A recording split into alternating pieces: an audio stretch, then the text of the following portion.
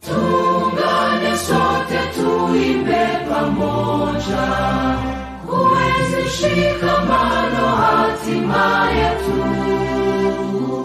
Tujitowe wenyewe kupambana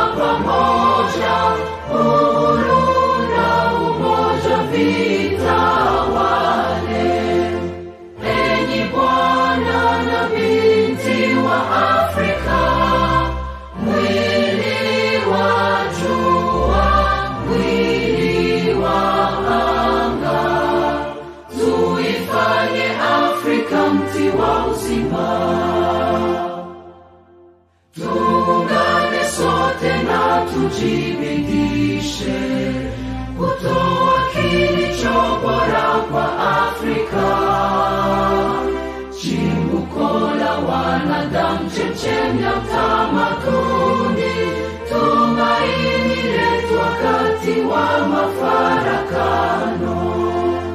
Enyi Bwana na binti wa Afrika, mwili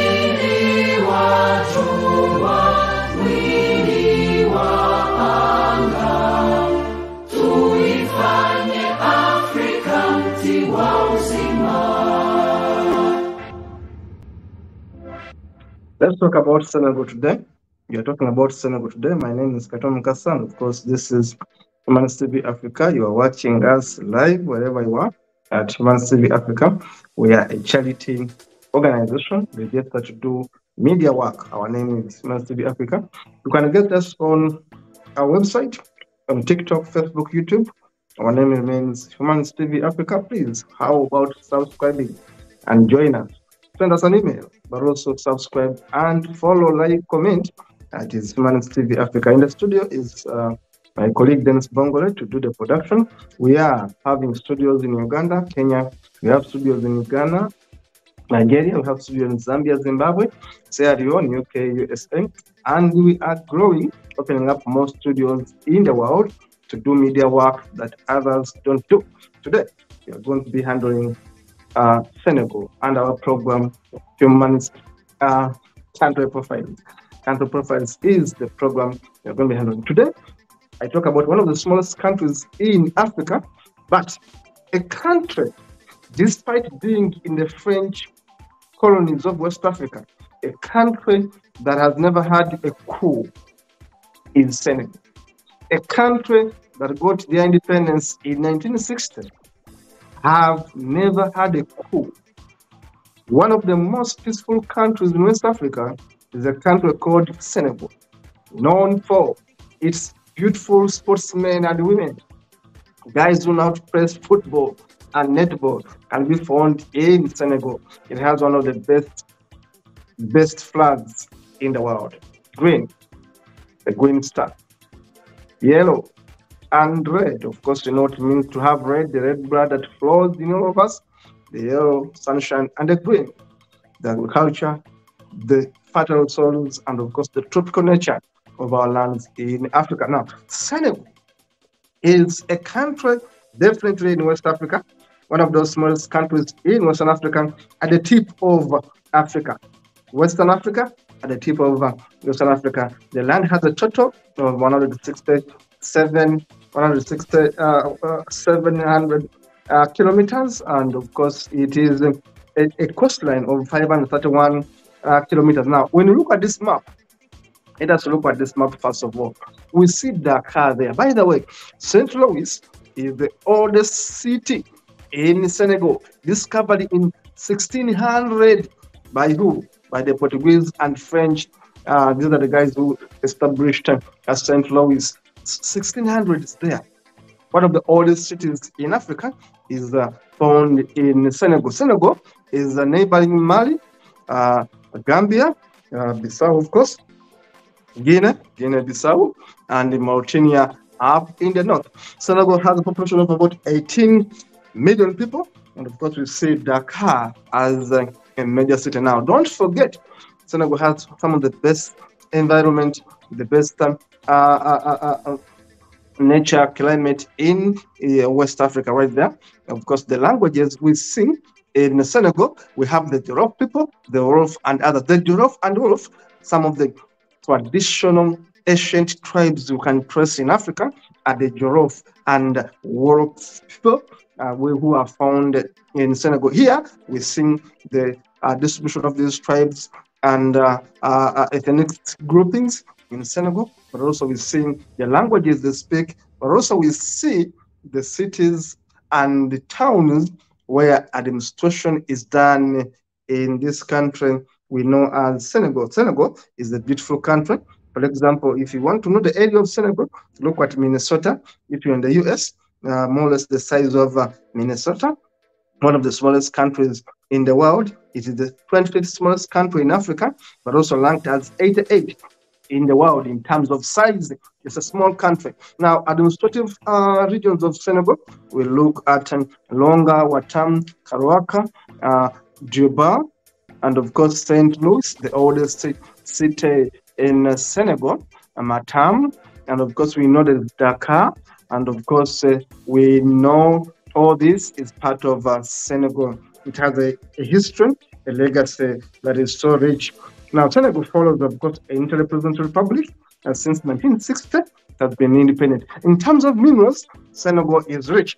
Senegal has discovered oil. If you don't know, I should tell you, Senegal recently discovered oil, but also Senegal has other uh, uh, things where they get their wealth fishing, agriculture, iron. Senegal has iron, has zircon, has gas. Senegal has gold. Senegal has phosphates, and of course, Senegal has many other uh, worth uh, stones, as you can see on that map. Of course, Senegal has the linkage to the Atlantic Ocean. It makes Senegal a beautiful country because Senegal has a coastline of four, 500 meters plus, a coastline right there. So Senegal was used for slave trade by the French, by the Portuguese, and by the British. Why? Because Senegal was easy to connect with the rest of Europe. Senegal became a center for slavery, a center for slave trade. Why? Because of the coastline, because of being near to the ocean. Senegal was used as a slave location, as a slave collection, and a slave market for the Europeans to come to Africa and steal and destroy. They used, of course, um, uh, Senegal in those years. Remember, vegetation is good in Senegal. They have some of the best soils in the world. When you go to Senegal, be sure to get many of the fruits you see in West Africa. You see in East Africa, you are going to see them in Senegal. Today, population of Senegal is 18 million people. Here I'm showing you it is 17, but take it from me, there are now 18 million people. And of course, population per kilometer is uh, 88 uh, people. Life expectancy is a bit okay at 64 uh, years. Of course, females live 69 years, males live 64 on average. And of course, birth rate is a bit high at 32%. Death rate is 5%. Males to females, males to females is 49 to 50. So females are quite many in uh, Senegal right there. We look at our statistics. We look at, I told you the tribes in Senegal. Talk about the Wolof, talk about the Jolof and the Fula, the Sera, Bambara, Dieo, Marinke, and of course, uh, uh, Diola, Marinke. Of course, some of them are French uh, people because French, uh, France has been in Senegal uh, since um, the, of course, uh, when I talk about France, France was in Senegal from 1659. France was in Senegal from 1569. You can imagine. And of course, France has been ruling Senegal since then until 1960 when France left. Now let us look at uh, uh, religions in Senegal. Senegal, for your information, has more Muslims. 94% of Senegalese are Muslims. Why is the question? I'll tell you the answer. The answer is that uh, from uh, the 8th century, listen to this, from the 8th century, Senegal was attacked and occupied by the Tuaregs and the Berbers. These are Muslims who came to Senegal, the Berbers, the Tuaregs, and others came to Senegal and occupied it in the 8th century. 8th century. These guys have been there. They're like Arabs. They have intermarried in Senegal. So they came to Senegal, occupied it, and ruled it, and Islamized it. That's why Senegalese are Muslims. 94% of people in Senegal, trust me, are Muslims. But why? Because of the 8th century attack by the Berbers, which introduced uh, Islam to Senegal. So Senegalese are largely Muslim because of their history with the, the Berbers, history with the invaders who came and took over that land and Islamized it for so many centuries. So it remains highly uh, a Christian nation. And in terms of GDP, Senegal's GDP is 27 billions only. You can imagine Senegal's GDP is worrying 27 uh, billion only. That's actually worrying. And of course, exportation is uh, uh, six million dollars. Now that is also another uh, worrying. I mean, six thousand. Uh, uh, uh, you know, it's also worrying. Importation is quite high now. They are exporting less, and uh, they are importing more. How do you import goods worth twelve uh, million dollars, for example, and then wait we are exporting only six? We are exporting only half of what we import now. That is quite challenging. In terms of tourism, tourism is doing very well, $557 million right there. And of course, debt rate is high. You can imagine a country with a debt rate of 74%. That is very, very, very worrying. You have a debt rate of 74% of your GDP. It means you are begging you are begging others to sustain your country. 74% of the debt of the GDP is high. This country is highly indebted. It's one of the highly indebted poor countries in Africa and in the world. That is Senegal. Now, unemployment rate in Senegal is high at 3%. That is high. Inflation is even worse at almost 10%. Now, this is worrying stats on Senegal. Look at the economy. It is struggling. They are importing more than they exporting. If you cannot only earn 6 million out of your exportation and you are importing 12 million, it means you cannot even sustain your economy. Now, this is Senegal at a glance. The economy is struggling. Now, when you look at other uh, dots here to add on the mix here, we say that due to political and financial situation, Senegal is considered as one of the least developed countries in the world and is also one of the heavily indebted poor countries with an average of annual income which is only 1,620 US dollars. You can imagine. Therefore, it's a lower middle income country. It's a lower middle income country. And this is bad because it's Senegal is one of the poorest countries in the world. Let us continue looking at the statistics. Now, in terms of um, land use, the land use, much of the land use actually goes to agriculture. I told you Senegal has good lands. Forests come second with 42% are forests. That is good. Water covers only 2%. And of course, urban people, people in the urban areas only cover 1% of uh, the land use. Now, in terms of railways, it's quite a big coverage, 16,000 kilometers of the railway there. And of course, um, uh, we see waterways, 1,000 kilometers. Uh, there are only 1 million vehicles that uh, are registered officially in Senegal. Uh, airports and others, the statistics is uh, seen there now. We also go to uh, cities. I told you Dakar is the capital city of Senegal. It has 1,182,000 people living in Dakar. Dakar, Tienos, Toba, St. Louis, the oldest city in Senegal is called St. Louis. And uh, it was discovered there. It was established in the 1600s there. We have other cities like Tebo, Zagor, Koraka, Tambacounda, and others. Let us look at other facts very fast. Other facts of Senegal very fast. Now, we look at Senegal in terms of politics. Senegal has been stable. I should tell you, I gave it to Senegal. Rule of law has been also upheld in one way or another. Senegal is a democratic country. If you compare to other countries in West Africa, it explains to why there haven't been any coup in Senegal since 1960. Remember, the first president was my poet guy, the poet guy who was the first president of Senegal, the man we know as uh, the best poet, the man we know as the man who introduced the idea of negritude, the man who introduced the idea of negritude in Senegal, none other than the man known as Leopold Senghor. Leopold Senghor, born in October 1906, Leopold Senghor was the first president of Senegal, introduced the benchmark on which Senegal moves, and introduced the concept of negritude. A man named as Leopold Senghor. Leopold Senghor was the first president of Senegal and gave them the foundation on which this country moves. Senegal is more democratic than Nigeria. Senegal is more better governed than Niger, and Senegal is better governed than Sierra Leone. It's a better country by far in terms of governance, but it is still struggling. There's no death penalty in Senegal. Let's look at other statistics.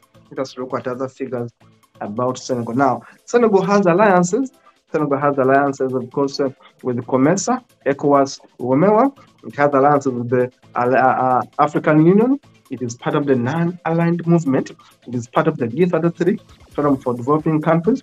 It is part of the Latin Union. It is part of the OIC, Organization of the Islamic Cooperation. I told you, Senegal has 94 of its people who are Muslims. It's an Islamic country, but peaceful. But peaceful. Senegal is part of the UN and UNESCO. Senegal has, of course, beautiful people, I should tell you. Remember, these have been products of intermarriages. The Berbers were there since the 8th century. Think about it. Berbers eh, have been in Senegal since the 8th century. And Berbers are a mixture, of course, of, of the Arabs and the others. So Senegal has uh, intermarriages, has mistresses, has mixed tribes in Senegal right there. Smiling people, happy people in Senegal, hardworking people in Senegal. I told you, Senegal is a mixed race country. It has uh, uh, brown people, it has um, black people, it has beautiful villages, beautiful villages, good climate, tropical in nature.